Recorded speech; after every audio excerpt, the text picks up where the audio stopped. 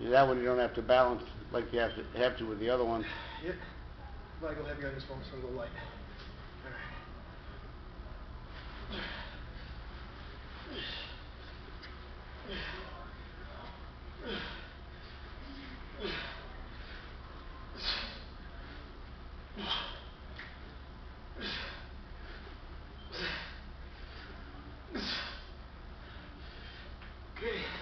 Okay.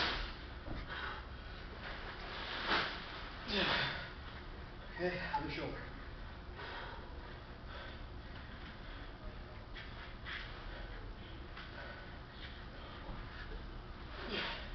That one didn't count. One, two, three, four,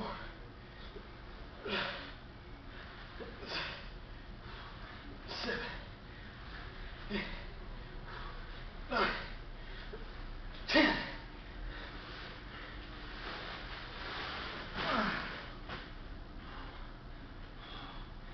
All right.